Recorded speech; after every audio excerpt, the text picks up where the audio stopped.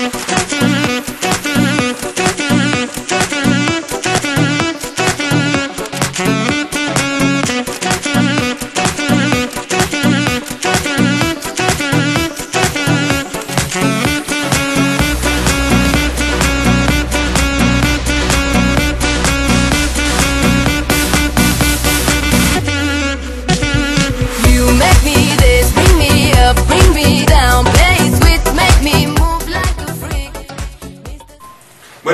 pues el siguiente tema que vamos a platicar tiene que ver con una, una situación nacional y que es un tema que hemos comentado en repetidas ocasiones sobre las encuestadoras, sobre los datos que ofrecen y pues especialmente eh, el otro día, el martes pasado, en Foro TV, en Martes programa- 16 de abril. martes 16 de abril, en el programa de Agenda Pública, eh, salió eh, Ulises Beltrán mostrando pues, estadísticas de las encuestas de cómo va, así como lo hacen muchos otros medios, muchos otros periódicos, y él presentó pues, los datos de cómo van eh, los candidatos a la presidencia de la, de la República, pero además hizo un pronunciamiento especial eh, sobre Andrés Manuel López Obrador, tú tuviste la oportunidad también de ver el programa, y pues quisiera saber cómo viste. Pues mira, yo, yo, yo lo que creo que es que hay que meternos al debate precisamente y al, al análisis de esto, de lo que está pasando con las encuestadoras. Eh, resulta ser que gente como Ulises Beltrán, gente como la gente de Parametría, Paco Abundis o el propio Mitowski, eh, están pasando de ser unas empresas que dan un servicio eh, en materia de, de- de- de encuestadoras y de repente se convierten en analistas políticos. Es- está en todo su derecho, ¿eh? Primero decir que está en todo su derecho, pero me parece que esto empieza a desvirtuarse. Y una cosa es que él como persona, como un ciudadano o como un analista político de su punto de vista respecto a los, a los, a los candidatos a la presidencia, y otra cosa es ligar la presentación de la, encuesta junto con un pronunciamiento de las propuestas de Andrés Manuel, porque lo que, el- lo que sucedió es que da eh, los datos estadísticos respecto a Peña Nieto, a Josefina, y descalifica la propuesta de Andrés Manuel diciendo que eh, pues son antiquísimas, son de los años de los 70, de los 80, con esta situación que nosotros hemos analizado, ¿no? O sea, que tiene que ver con el no a las reformas estructurales que están planteándose, ¿no?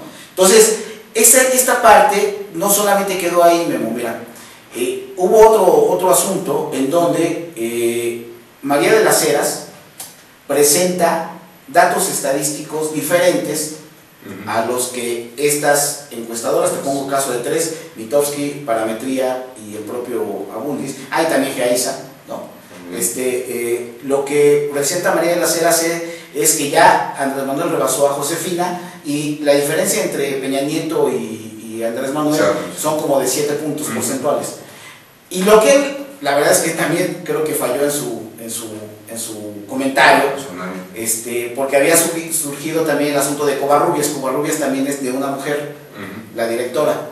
Entonces lo que dice es, pues espero que no sea un asunto de género.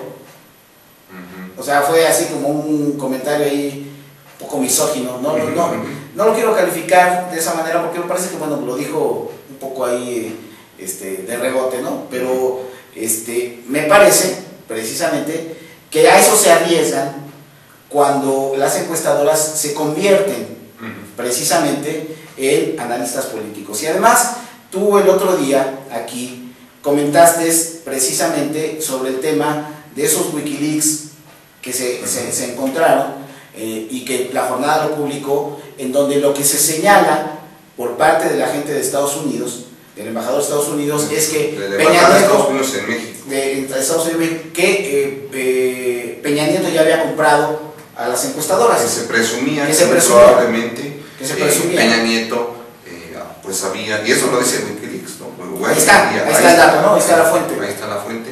Y eh, pues se decía que muy probablemente para mantenerse arriba en las preferencias electorales, pues que el candidato del PRI había comprado a ciertas encuestadoras o a los medios de comunicación, dice en ese mismo Wikileaks, para mantenerse pues arriba. Entonces, pues la verdad es que se está metiendo, creo que en una situación muy difícil, la credibilidad de las encuestadoras.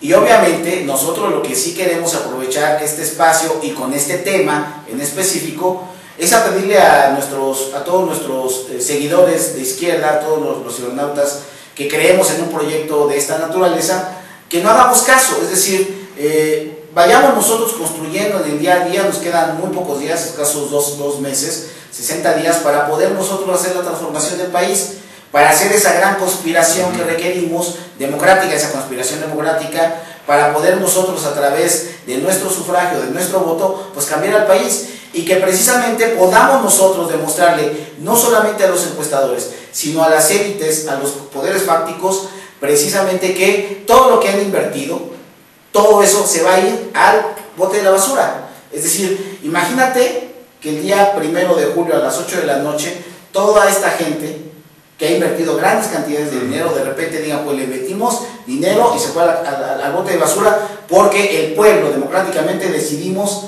diferente. Y ahí con eso se acabó la discusión, ¿eh? Y obviamente estas encuestadoras tendrán mucho que pensar, que replantearse, porque yo creo, y yo sí creo que fue un buen inicio este sector, pero se ha ido pervirtiendo por todo esto. O sea, y no somos culpables nosotros, ¿eh? Se los aclaramos para que luego no empiece esta discusión. Que de aquí en adelante también habrá que ver el futuro sobre ellas mismas. Exactamente. Porque a lo mejor el hecho de perder tanta credibilidad, ah, bueno, habrá que ver en de las expectativas, de las probabilidades que ellos hacen en comparación con los resultados electorales que se tengan el primero de julio, pues también vendrá su propia evaluación y sobre eso también se destinará su futuro. Así es, porque además, Memo, yo creo que debe quedarle muy claro a todos nuestros amigos cibernautas que este sector ha tenido un crecimiento sumamente importante, pero que se han utilizado precisamente para poder generar una opinión, ¿no? una tendencia que sí influye, eso sí es, queda claro, sí influye. Ya es una discusión que hemos tenido también aquí eh, con, otro, con otro video que no vamos a, a referitear, pero lo que sí queda claro, Memo, y todos los que hemos estudiado un poco de estadística, sabemos que los números se acomodan en función de pues, las, las intenciones. Entonces, eh, queda claro que el, el comentario, ahorita lo queremos circunscribir a que precisamente estos encuestadores tenga ya por fin una posición, no le quiero llamar ética, porque bueno, eso no, no, no, estaría, pero sí una posición así, van a hacer análisis político o van a presentar los datos estadísticos de una manera seria y responsable.